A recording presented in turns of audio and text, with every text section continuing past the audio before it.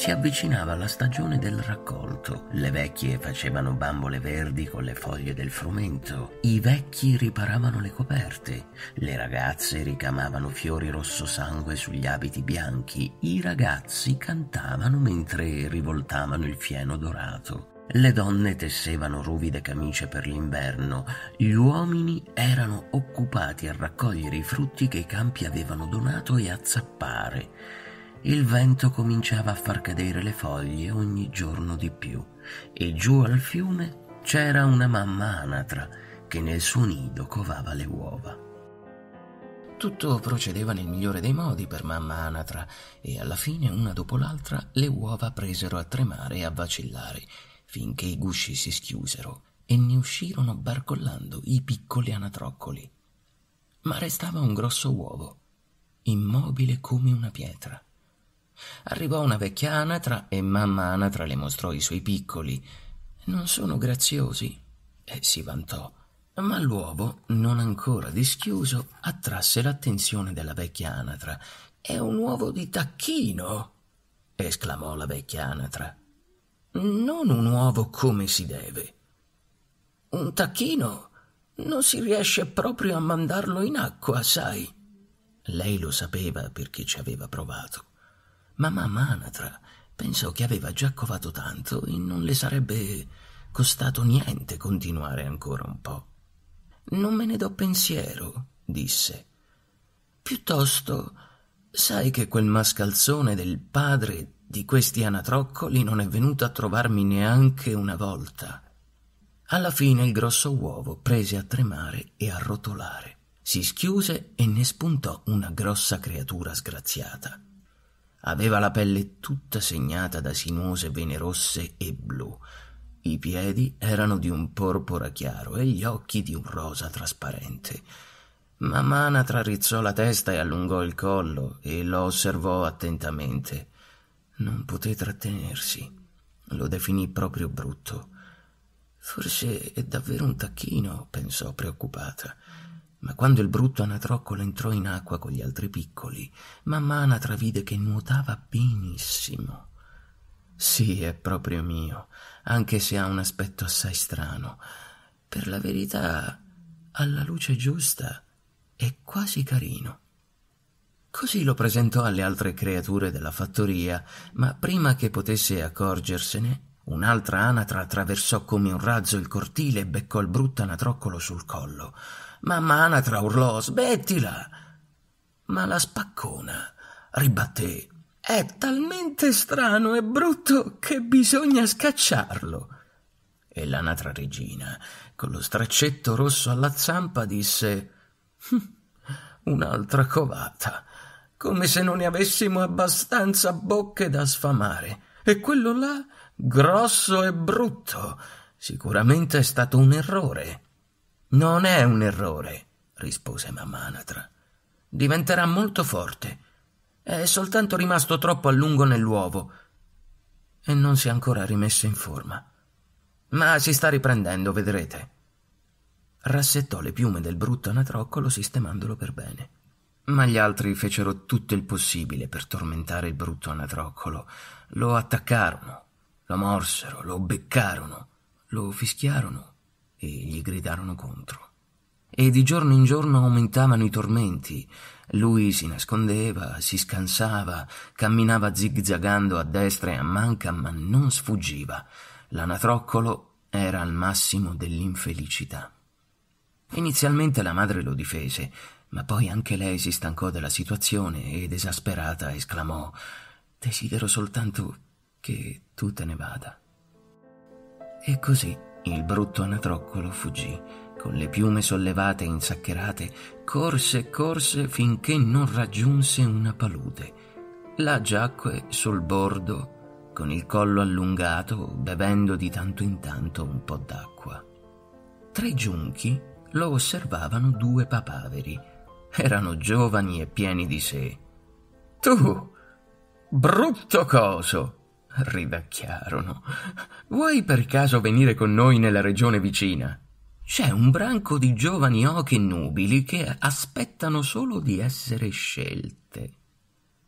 D'improvviso rimbombarono dei colpi e i papaveri caddero con un tonfo e l'acqua della palude divenne rossa di sangue. Il brutto anatroccolo si tuffò in acqua per mettersi al riparo, mentre all'intorno c'erano spari e fumo e cani abbaianti. Finalmente sulla palude tornò la quiete e l'anatroccolo fuggì il più lontano possibile. Al crepuscolo raggiunse una povera capanna. La porta era appesa a un filo e c'erano più crepe che muri. Là viveva una vecchia cinciosa con il suo gatto spettinato e la gallina strabica. Il gatto si guadagnava il pane prendendo i topi, la gallina deponendo le uova.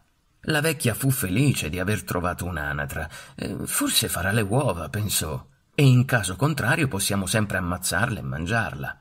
Così l'anatroccolo restò, ma il gatto e la gallina lo tormentavano sempre. A che servi se non sai deporre le uova né cacciare i topi? Quel che soprattutto mi piace, sospirava l'anatroccolo, è stare sotto il grande cielo azzurro e sotto l'acqua fresca e azzurra. Per il gatto non aveva alcun senso stare sott'acqua e criticava l'anatroccolo per i suoi stupidi sogni. Per la gallina non aveva senso avere le piume tutte bagnate e anche lei prendeva in giro l'anatroccolo. Alla fine fu chiaro che lì l'anatroccolo non avrebbe trovato pace e quindi se ne andò per vedere se trovava qualcosa di meglio lungo la via. Arrivò a uno stagno e mentre nuotava sentì che l'acqua diventava sempre più fredda. Su di lui volò uno stormo di creature, le più belle che avesse mai visto. Gli lanciarono delle grida e a sentirle il cuore gli batté forte e si spezzò. Lanciò un urlo che mai gli era uscito dalla gola. Non aveva mai visto creature tanto belle e non si era mai sentito più dirilitto. Si girò e rigirò nell'acqua per osservarle mentre volavano lontano fino a sparire. Poi si tuffò in fondo allo stagno e si accoccolò tutto tremante. Era fuori di sé perché provava un amore disperato per quei grandi uccelli bianchi, un amore che non riusciva a comprendere. Prese a soffiare sempre più forte un gran vento gelido per giorni e giorni e cominciò a cadere la neve. I vecchi rompevano il ghiaccio nei secchi del latte e le vecchie filavano fino a tarda notte. Le madri nutrivano tre bocche alla volta al lume di candela e gli uomini andavano a cercare le pecore sotto il cielo bianco di mezzanotte. I giovani si immergevano fino alla cintola nella neve per mungere e le ragazze immaginavano di vedere i volti dei bei giovanotti nelle fiamme del fuoco mentre cucinavano. E giù allo stagno l'anatroccolo doveva nuotare sempre più velocemente in tondo per conservarsi un posto nel ghiaccio. Una mattina l'anatroccolo si ritrovò congelato e stretto nel ghiaccio e fu allora che sentì che sarebbe morto. Due anatre selvatiche planarono e scivolarono sul ghiaccio. Esaminarono l'anatroccolo. Sei ben brutto, gracchiarono. Che peccato! Non si può fare proprio nulla con uno come te. E volarono via. Fortunatamente passò di lì un fattore e liberò l'anatroccolo, spezzando il ghiaccio con il suo bastone. Sollevò l'anatroccolo, se lo mise sotto il cappotto e si avviò verso casa. Alla fattoria i bambini si avvicinarono all'anatroccolo, ma lui aveva paura. Volò sulle travi facendo cadere tutta la polvere sul burro. Da lassù si tuffò dritto nel secchio del latte e mentre cercava di tirarsi fuori tutto bagnato e stordito, cadde nel barile della farina. La moglie del fattore prese a inseguirlo con la scopa mentre i bambini urlavano e ridevano. L'anatroccolo volò via attraverso la porticina del gatto e finalmente all'aperto giacque sulla neve mezzo morto. Poi si trascinò fino a un altro stagno, poi a un'altra casa e a un altro stagno ancora, e a un'altra casa. E così passò tutto l'inverno fra la vita e la morte. Comunque tornò il gentile soffio della primavera, e le vecchie si misero a scuotere i piumini, e i vecchi riposero i lunghi camicioni. Nuovi bimbi arrivarono di notte, mentre i padri misuravano a grandi passi il cortile sotto il cielo stellato. Di giorno le ragazze si ornavano i capelli e i giovani guardavano le caviglie delle ragazze. E nello stagno l'acqua divenne più tiepida e il brutto anatroccolo che si lasciava cullare distese le ali. Com'erano grandi e forti le sue ali. Lo sollevavano in alto e dall'alto vide i frutteti rivestiti di bianco, i contadini che aravano, i cuccioli di tutte le specie che nascevano, ruzzolavano, ronzolavano e nuotavano. Sullo stagno nuotavano tre cigni, le stesse creature bellissime che aveva visto in autunno, quelle che gli avevano fatto dolere il cuore. Provò l'impulso di raggiungerli. E se facessero mostra di accogliermi e poi non appena li avrò riaggiunti, volassero via ridendo. Pensò l'anatroccolo, ma discese lentamente sullo stagno e intanto il cuore gli batteva forte. Non appena lo scorsero, i cigni presero a nuotare verso di lui. Sicuramente la mia fine è vicina, pensò l'anatroccolo, ma se devo essere ucciso, meglio che a farlo siano queste belle creature e non un cacciatore, la moglie di un fattore o un lungo inverno e chinò il capo in attesa dei colpi. Ma ecco che riflesso nell'acqua vide un cigno in perfetta tenuta, piumeggio bianco come la neve, occhi color prugna e tutto il resto. Sulle prime il brutto anatroccolo non si riconobbe perché era esattamente come i bellissimi estranei, quelli che aveva ammirato da lontano. E risultò che in fin dei conti era uno di loro. Per caso il suo uovo era finito in una famiglia di anatre. Lui era un cigno, un glorioso cigno, e per la prima volta i suoi simili gli si avvicinarono e lo sfiorarono con gentilezza e affetto con la punta delle ali.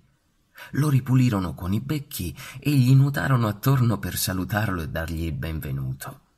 E i bambini, arrivati per nutrire i cigni con pezzetti di pane, si misero a urlare Ce n'è uno nuovo! Ce n'è uno nuovo! E, come fanno i bambini di tutto il mondo, corsero a dirlo a tutti. E le vecchie andarono allo stagno, sciogliendo i lunghi capelli d'argento, e i giovani raccolsero l'acqua verde nelle mani a coppa e spruzzarono le ragazze che arrossirono come petali. Gli uomini smisero un momento di mungere per respirare l'aria profumata. Le donne smisero un momento di rammendare per ridere con i loro compagni.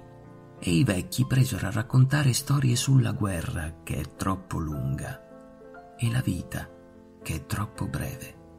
E a uno a uno, per via del passare della vita e della passione del tempo, danzando si allontanarono. Gli uomini giovani, le donne giovani, tutti si allontanarono danzando. E i vecchi, i mariti, le mogli, tutti danzando si allontanarono.